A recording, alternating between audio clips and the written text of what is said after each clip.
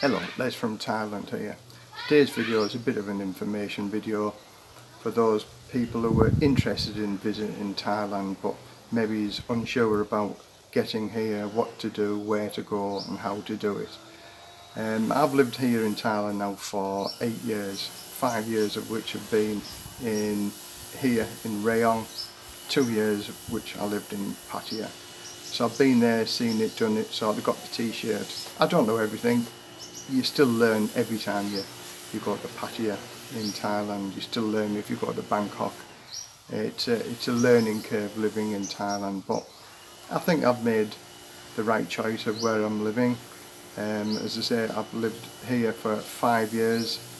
I'm happy here, we have a nice lifestyle here.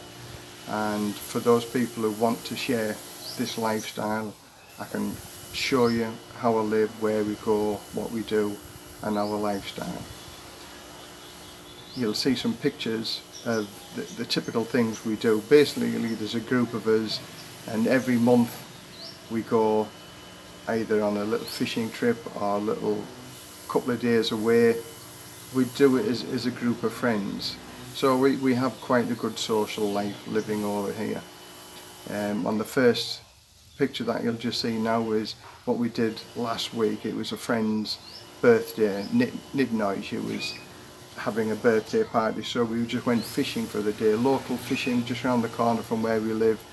It was 20 baht, 20 baht to go fishing for the day and any fish that you caught it was 50 baht per kilo and you could keep them and or they'd cook it for you but we didn't ask them to cook it because we had our own barbecue. So we barbecued the fish and what a fantastic day it was few people had a few beers and some whiskey and and then we carried on on the night time down at the at the beach which wasn't too far away from where we were fishing at the fishing lake.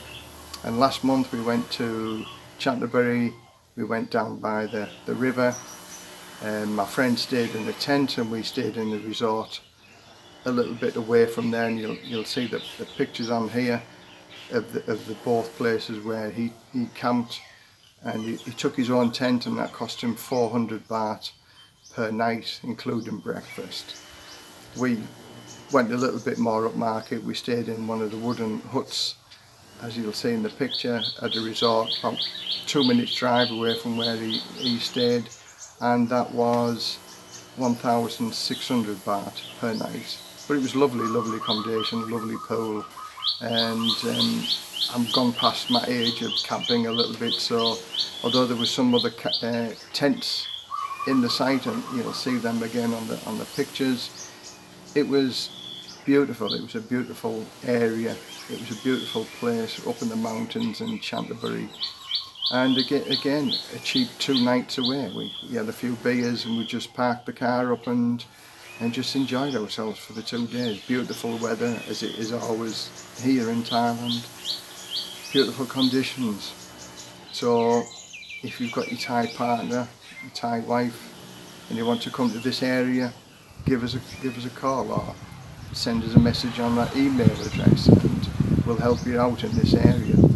This area is perfectly located in my mind for the airports, it's okay for the islands, there's plenty of things to do in this area of Rayong or if you're a single person and you want to come and visit here, again, send me a message. We can arrange everything for you if you want to come and visit here.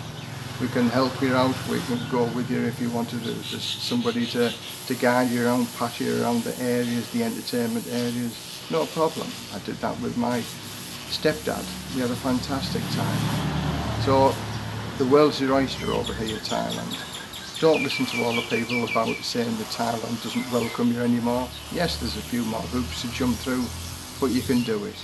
It's a fantastic place to live.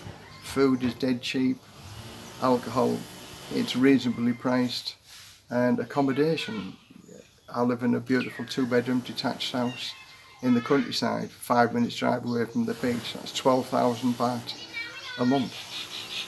The electricity that I pay here is less than a thousand baht a month.